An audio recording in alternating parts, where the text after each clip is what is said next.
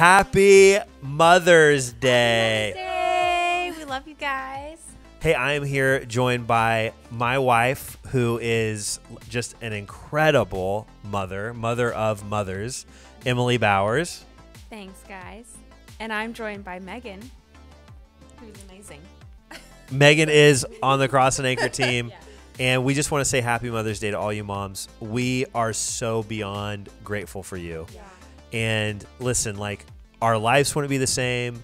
Our homes would not be what they are, would not be the places of strength and encouragement and blessing that they are.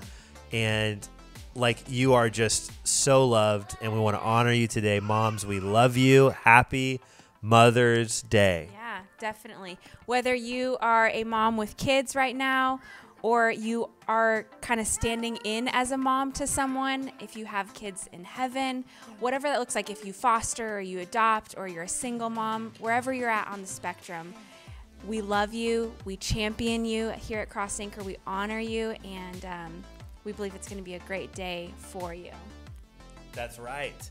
Um, we uh, we're tonight meeting in person at six o'clock, and uh, we'd love to have you come if you are in the area. We have a gift for all you moms. So uh, if you are here tonight, we'd love to bless you with that. And um, there's so many exciting things happening in our church.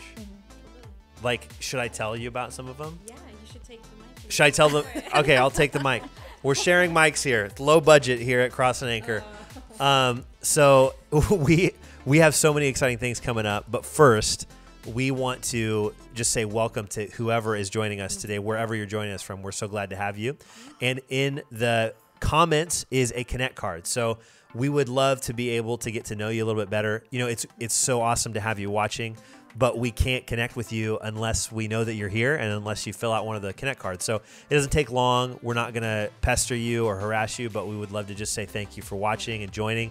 And if you would like to know more information about Cross and Anchor or get more involved, we'd love to be able to tell you about that as well.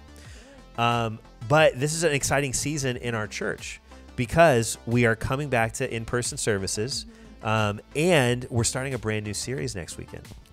We are starting a new series. Meg, do you want to tell us about it? Yeah, so I had the opportunity of being able to help bring uh, the vision of like just Josh and Ems of just being able to like portray people, and I think it's going to be a great series of just being able to get back into what um, I've heard a little bit about like Genesis and like the image that we're made in, and it's just so super important to know that and.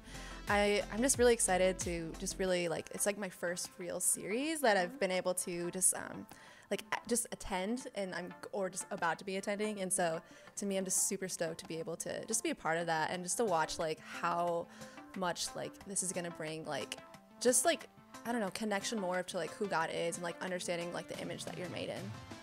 That's awesome. Yeah, so it starts next weekend and it's people. What does it mean to be human?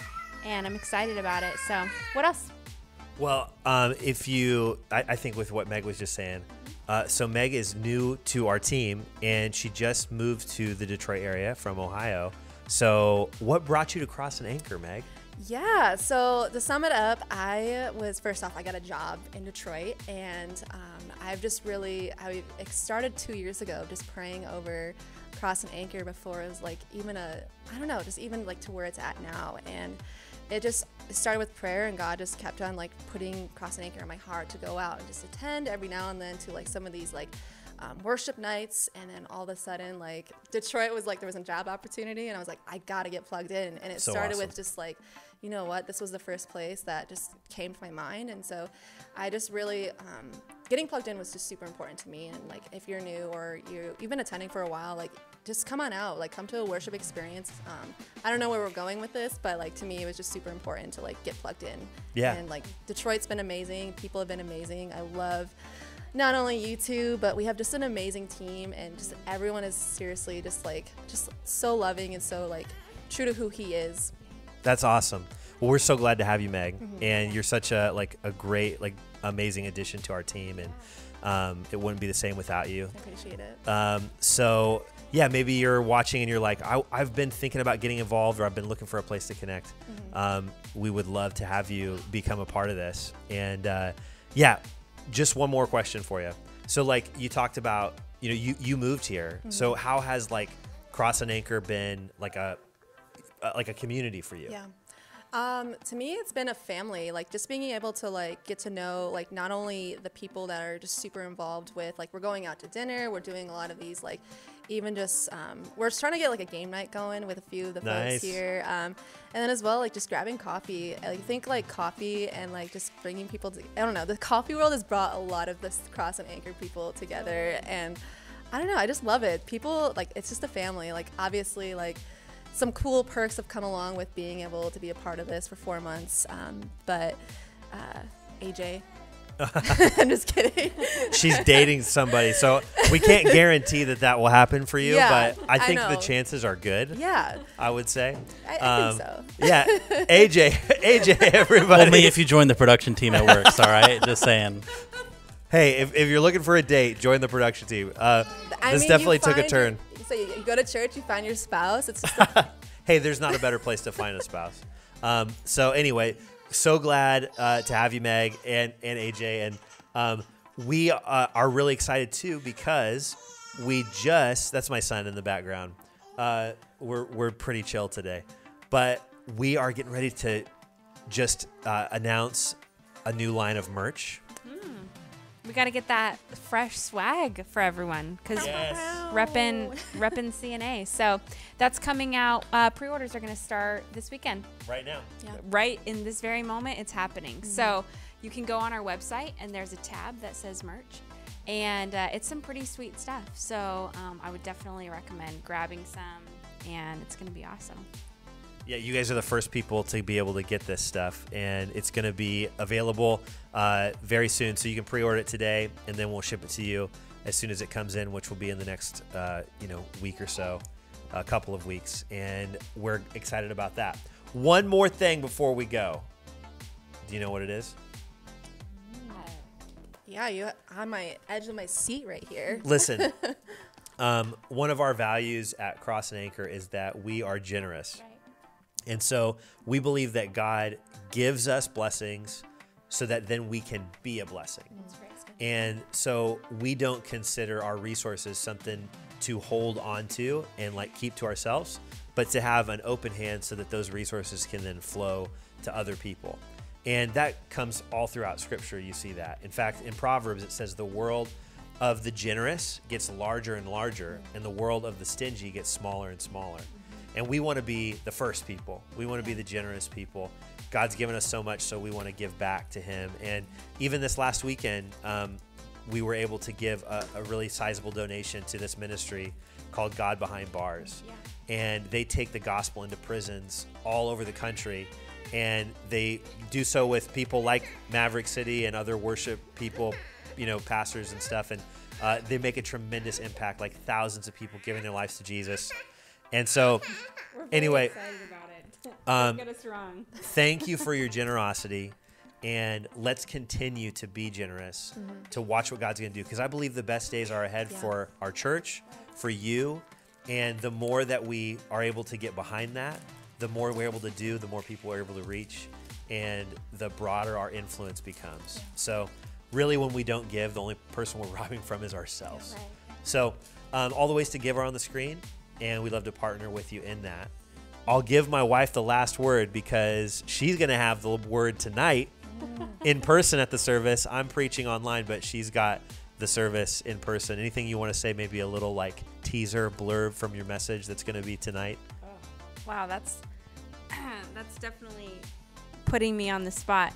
Uh, tonight we're actually talking about Zacchaeus, the the wee little man. Yep, and I'm really excited about it. It's uh, it's something that has been rolling around in my heart for a while, and uh, the message is all about. It's called "What Would You Do?" and it's basically just um, what are we willing to do to get to Jesus? Are we willing to do creative, desperate things to get to Jesus, things that don't make sense? And so, um, yeah, I'm uh, excited about it. And uh, I just believe that God wants to move every obstacle that we feel is in our way to do life with Him. And so, um, I'm excited about it and I'm grateful for the opportunity to be able to share. So, I think it's going to be a good Sunday. Yeah. All right. All right. I said wee little man, and I I had to get him. He's actually not very wee. He's very large for his age, but uh, yeah, this is Jack and this is London, and we're super excited to have them part of the journey with us. But moms, again, we love you a lot and uh, we honor you today. And we're going to say bye now. So enjoy this message from God's Word, and we love you so much.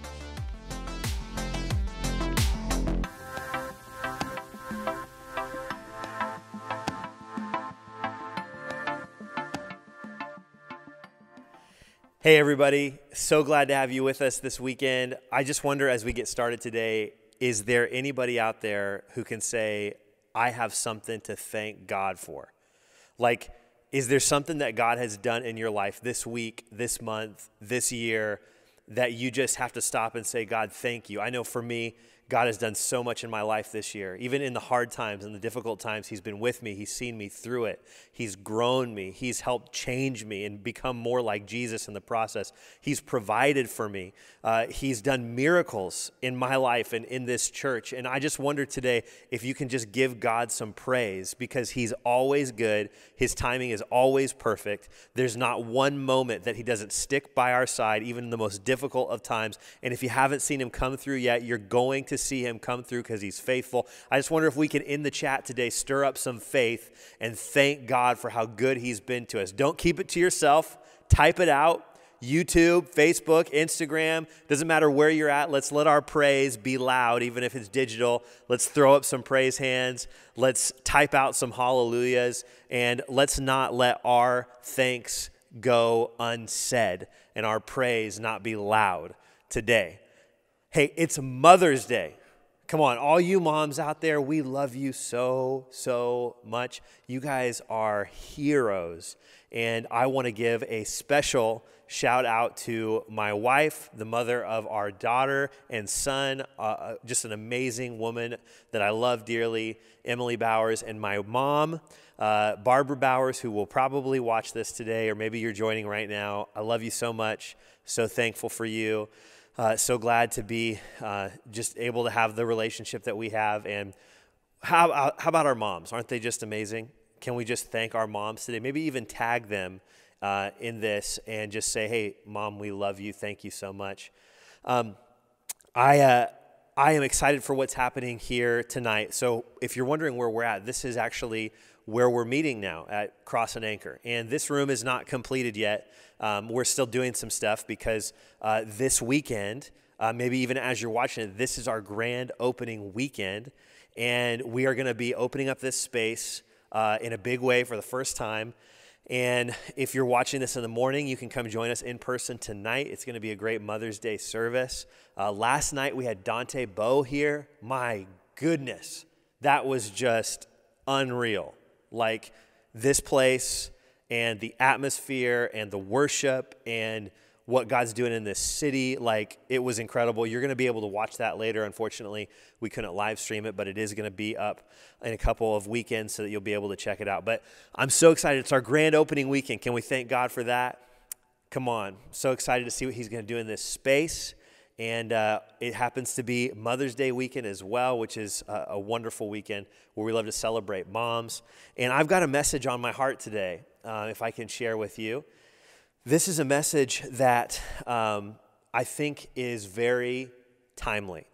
And I hope that it helps you wherever you are at today and whatever God is doing in your life. Uh, you're not here on accident. I believe He has something He wants to speak to you today. I've called today's message Doubters Welcome doubters welcome. You know, doubt is a serious issue for people. It's, it's something that all of us probably at some point, one point or another, have struggled with. Doubting is very prevalent in our world and in our culture, and not just outside of church and faith, but inside. Two thirds of all Christians say that at one point or another they have had doubts. Like, I think that this may mean like serious doubts, or, or, or they've had moments of questioning. Is this all real? Is God real? Is my faith real? And the other one third who say that they haven't had doubts are lying. Because we all struggle with doubt at some point. In fact, the, the most common struggle in the Bible is probably doubt. People having a hard time really believing what God has said and walking that out. And doubting, if you've ever experienced it, if you are experiencing it now, it, doesn't mean that there's something wrong with you. It's something that we can all go through. And the Bible has a lot to say about it. I want us to look today at John chapter 20, which is kind of the quintessential passage about doubting in the entire Bible.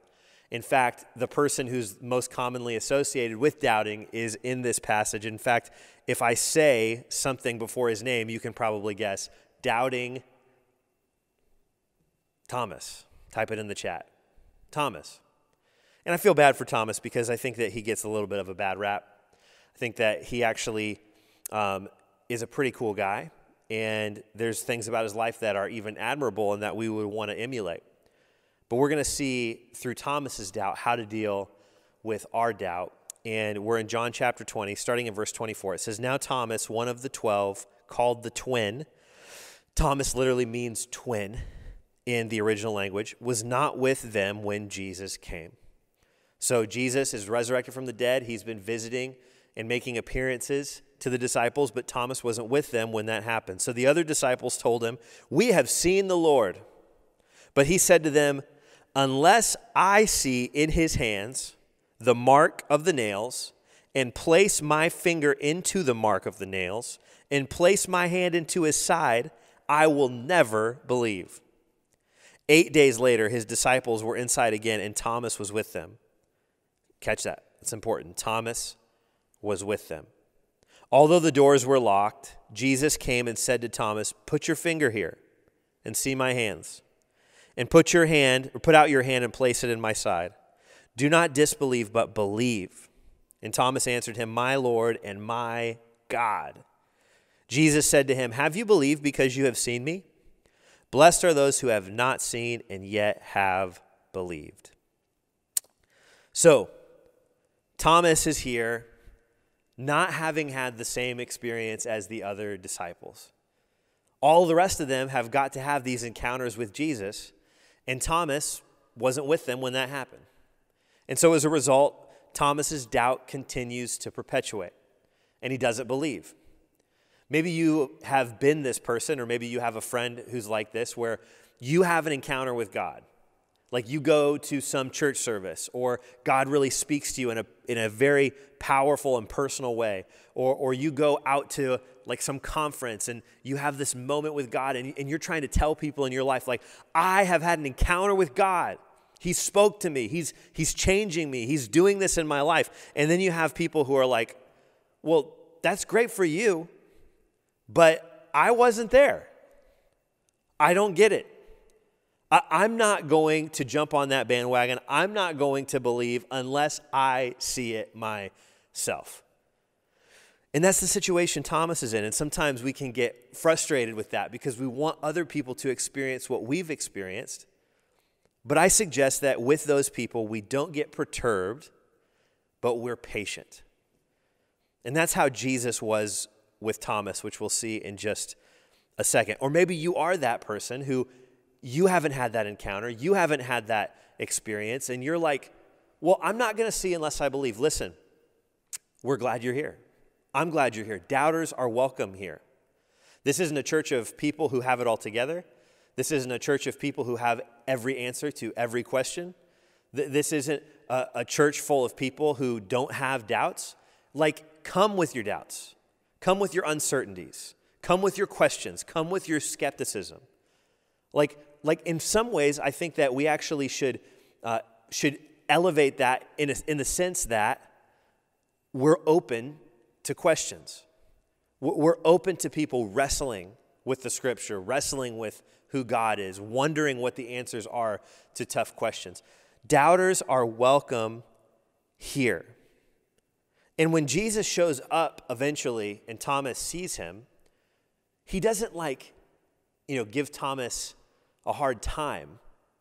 Like he, he does tell him, like, hey, you've seen and you believe because you've seen, but blessed are those who haven't seen and yet have believed. But he still shows up. Thomas's doubt didn't stop Jesus from showing up. And your doubt isn't going to prevent Jesus from showing up in your life. C.S. Lewis one of the most brilliant Christian thinkers who's ever lived, he was an atheist and he refused to believe in God. And then, after a while of researching and looking into faith and studying it from a philosophical, philosophical perspective with his brilliant mind, he came to the point where if he was going to be intellectually honest, he had to say that God was real and he came to faith in Jesus. He said that he came to faith kicking and screaming. Like he didn't want to. He, he didn't want to be a Christian, but he couldn't avoid the truth that he encountered. Lee Strobel, he's an author, now a, a very famous author and like Christian apologist. But at one point, he was an atheist, and his wife became a Christian. And because he had a background in journalism and in law, he decided to go out and disprove Christianity so he could tell his wife, This is so stupid, you got to quit believing this. And he interviewed the top Christian thinkers of the day. And he brought to him all of the arguments against the Christian faith. And as he was doing research with his journalism degree, writing all this stuff down to disprove his wife, he ended up in the process becoming a believer. So listen, doubters are welcome. Like Jesus says, come on with your doubt. Come on with your questions. I'm bigger than that, and I can meet you in the process. So, Thomas, this isn't the first time, by the way, that, that he's put up a little bit of a stink when it comes to going with the flow and being on the same page as everybody else. You ever have somebody in your life like that? Like, you all are excited about one thing, but they're like, well, I'm going to be the opposite. You got some Karens in your life? I, I, I know that I do. Um, the people who just kind of want to throw water onto a fire. Well, Thomas is a little bit like that. At, at least, maybe not in the sense of he's intentionally trying to be different, but he's owning up to the fact that he doesn't always see things the same way that everybody else does. So you look at John 14, 5. Jesus is saying, I go to prepare a place for you. And then Thomas, all the rest of the disciples, like, yeah, preparing a place. Like, that's God, great, Jesus, that's amazing. You know, like, I, I, get that as a pastor all the time. People have no idea what I mean, no idea what I'm actually saying, but they're like, yeah, that's right, Pastor, that's right. Yeah, you do that, Pastor, that's great. And so people are telling this to Jesus, yeah, that's right. And then Thomas says, Lord, where you go, we do not know. And how can we unless you show us the way? You see, Thomas is the one who will say what everyone's thinking. And you need a couple Thomases in your crew. You need some people who are willing to go against the flow, who are willing to challenge and ask some questions, who are willing to even make it a little bit uncomfortable. And Thomas was one of those people. So, in this moment where he says, Unless I see the nail marks in his hands, unless I put my hand in his side, I'm not going to believe, he's kind of living up to his personality, doubting Thomas. And, and that kind of a person, I don't know which number on the Enneagram they would be, the challenger, whichever one that is. I can't remember. But that kind of a person, there's a lot of admirable qualities about that. Those kinds of people can be incredibly powerful leaders.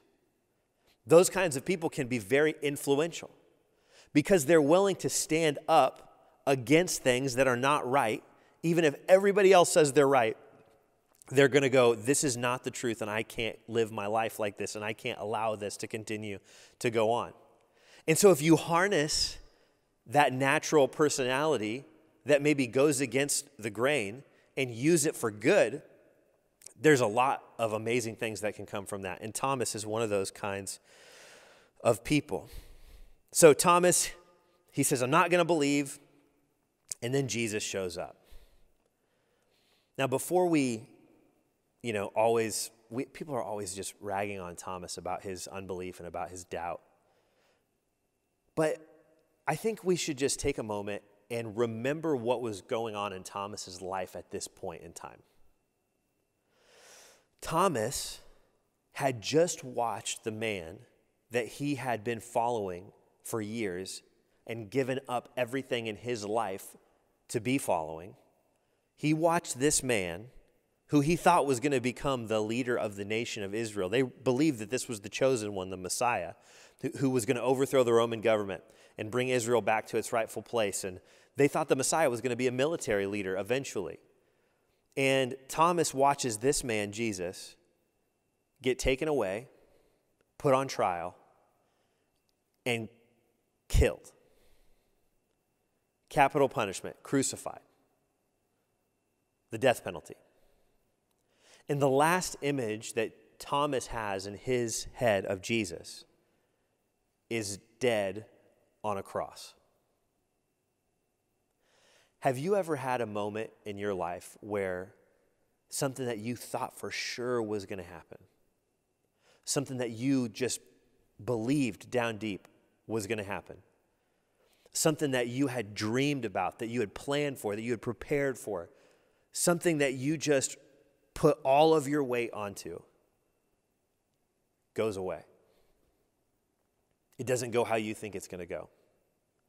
Your dreams get crushed, and you deal with disappointment. I think we've all had that at some point in our lives. And it's crushing, it can be debilitating. Disappointment can lead to doubt. You don't get the job, you don't get the promotion, the relationship doesn't work out, the finances don't come through, the, the bills don't get paid the, the mortgage is now at the point where it's going to get taken away. Like the, the house is going to go back to the bank. Like you, you thought that these things were going to get solved. You thought that these things were going to change. You thought that these things were going to get worked out. And here you are standing at the death of your dream. That's the situation that Thomas is in. That's what he's dealing with. He's dealing with this incredible disappointment that, that he had spent his the last three years of his life living for just go away. And so let's give Thomas a little bit of grace. Let's give Thomas a little bit of understanding and patience because he's dealing with an incredible amount of disappointment right now. Disappointment leads to doubt.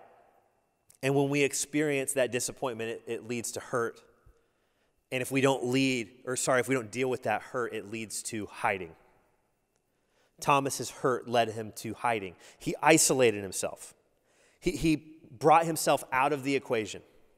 He said, I'm just going to disconnect from all these other disciples and Jesus followers. And maybe he was even scared because they're thinking, oh, they just crucified the guy that I was following. Maybe I'm going to get killed next. Some of the disciples ran away. Thomas might have been afraid for his life.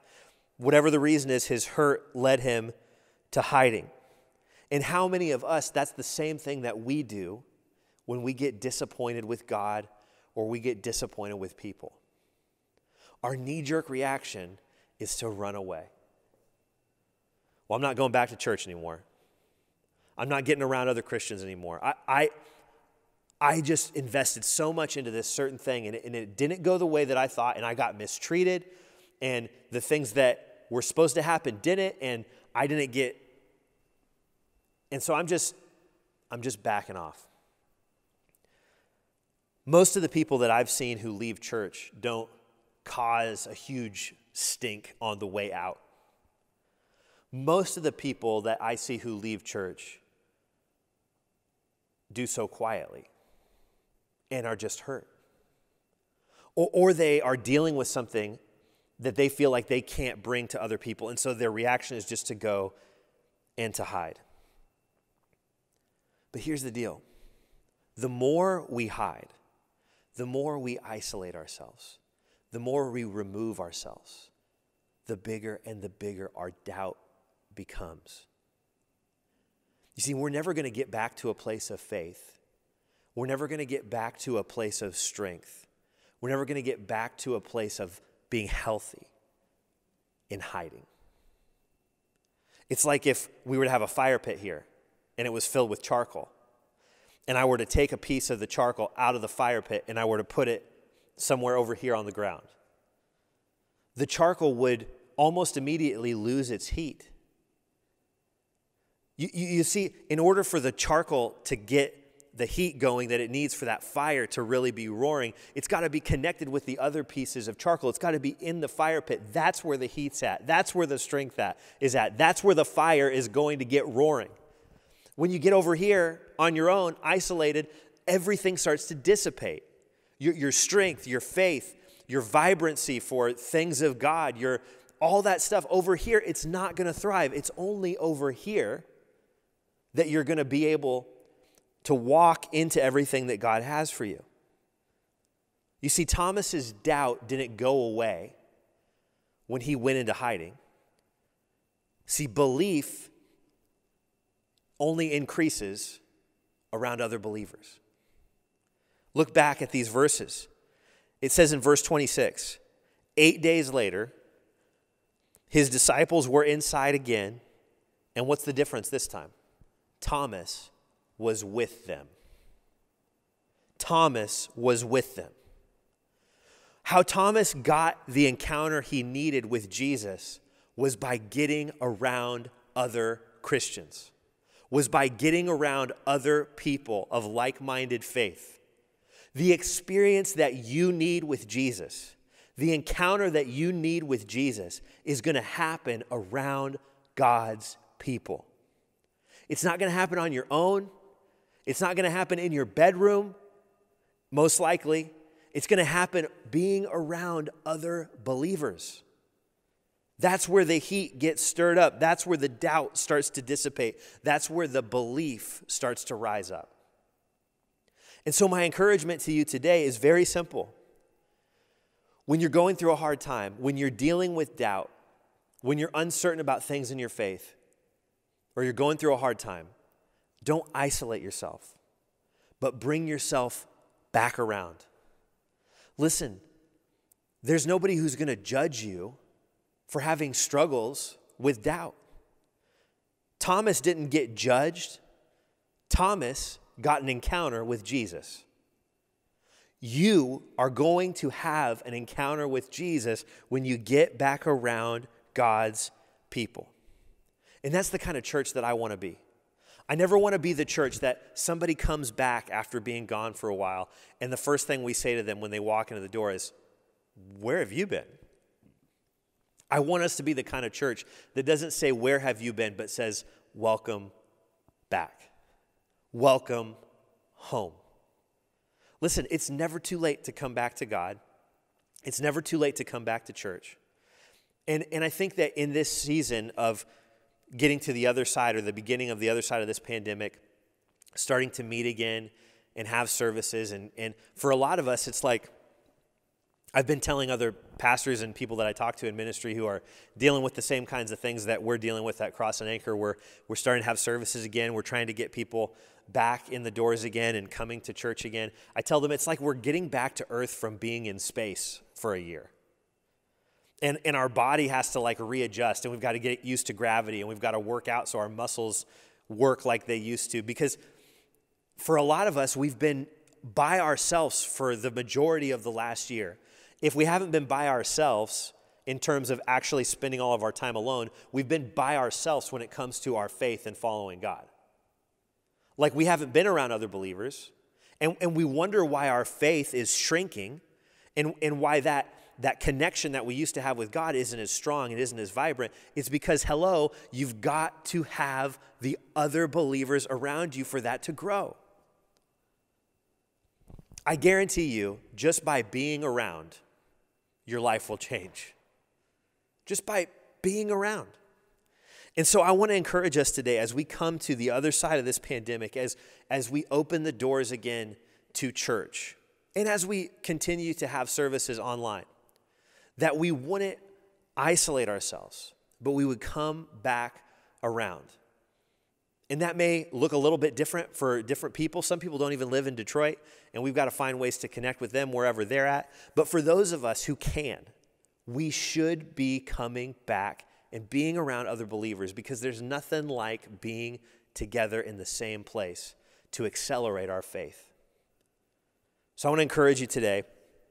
Um, this is a really exciting time. Next weekend, this is our grand opening weekend. Next weekend, we launch a brand new series called People. And I, it's a great opportunity to come back, be around God's people, but also invite people because this is a series that's asking the question what does it mean to be human?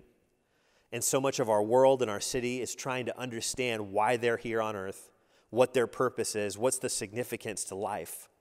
And we're going to be talking about those things and answering those questions and saying that there is a deep meaning and a deep purpose and a, an amazing way to live life that God offers. And so I hope that you can join us for that. I hope you can be here in the house for that series. I would encourage you, that series is going to be five weeks long. I would challenge you to be here for three out of those five weeks. Like, just say, out of those five weeks, I'm going to be here for three times. And watch if just by being around three times in that five weeks, if God doesn't just do something in your life. And, and, maybe you're still watching online and that's how you're connected with Cross and Anchor and you kind of keep up from a distance, but you, you can't be here in person. That's so great. We still are so excited to have you with us. And we're so glad we're going to continue online services. We're not going anywhere with these. But we still want people to be able to gather in person and have an encounter with God. Thomas's doubt turned into a testimony, and yours can too. Before we close, I just want to tell you about what happened with Thomas after this moment. We kind of tend to take a freeze frame of somebody's worst moment in life and define their entire life by that moment. Like, like that happens actually all throughout the Bible. That happens in people's lives. Is that one moment, that one horrible thing that they did, and the rest of their life, that's all that we remember them by. And Thomas is kind of like that. Doubting Thomas. That's all we remember him for. But did you know that after this moment, after Thomas met Jesus, first of all, immediately he believed. Like he got what he needed. God came into the room and showed up where he was at. God will give you what you need. Like if you have an honest doubt, if you're not sure about something, if you need him to meet you in a certain way, God will meet you there. And Thomas got that encounter with Jesus. But then after he did, he was the first person to take the gospel to Asia. He became a missionary, a church planter. And you can still go to the place in Asia today where it talks about where Thomas is buried because he took the gospel and gave up his life eventually. He became a martyr for the very faith that he doubted. I just want you to know today it's never too late for a turnaround in your life. It's never too late for you to go from a person of doubt to a person of faith. Even if that doubt has been around your entire life, in one moment, God can meet you and change you and send you on an entirely different direction. Thomas is proof of that. That's Thomas's testimony. Not that he had a moment of doubt, but that after that moment of doubt, his best days in being used by God were ahead of him. So if you're Thomas today, Ask God to meet you. God's here to give you what you need. Most of the questions that you'll have in life about faith in God, they're answered in the Bible. God speaks to us through His Word. And if you're having a hard time really bringing faith into your life, I just start reading the Bible. Even if you don't understand it, even if it doesn't make sense, just start reading one of the Gospels and see if in those moments, if, if God doesn't just show up and speak to you. We have what we need in this book to be able to come to faith and live a life of faith. And God will meet you there and give you what you need. Can I pray for us as we close today? Thanks so much for joining us, for being here online. We're just so grateful. Uh, our church wouldn't be the same without you, and we love you. God, thank you for your word. Thank you for this story of Thomas, and help us, God, to be people who are compassionate to those who doubt. We've all had doubts. Help us to be patient with those who doubt. Help us to not expect them to be further along than they are or expect them to come to the same place that we are. Help us to meet people where they're at. And God, for those who are doubting today, they, they can't get around the doubts that they have.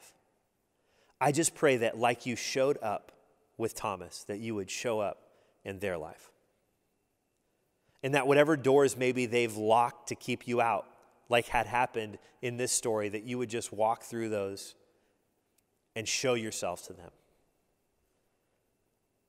I just pray that you would take people today who are watching this from doubt to faith. And even if it's a journey, even if it's not today, even if it's weeks from now or months from now, that they would have an encounter with you that changes their lives. Thank you, God. Thank you. And if you're watching this today and you're a person who says, I, I want to come from doubt to faith, or I'm a person of doubt who wants to have an encounter with Jesus, well, listen, you can have that. I, I want you to just pray a simple prayer to God. And I want you to say this Dear God, I come to you as I am, my doubt, my disbelief, and all. And I ask you to meet me here and change my life. God, would you fill me with faith to believe that you're my Savior and my Lord? God, I turn from my sin and I turn to you as my Savior today. I put my faith in you. Come into my life and change me. I pray this in Jesus' name. Amen. Hey, if you're starting that journey of faith today, we want to encourage you. We've got a free Bible for you. We want to send that to you free of charge wherever you're at. And we hope that you'll continue to come along on this journey with us as we start this new series and as we investigate who Jesus is and what he can do in our lives. And wherever you're at on the faith journey, we're just so glad that you're with us today. We love you. God has great plans for you. Can't wait to see you next weekend. Moms, happy Mother's Day. If you still are watching this in the morning, come and join us at 6 o'clock tonight. My wife, is going to be given a message. You're not going to want to miss it. Peace.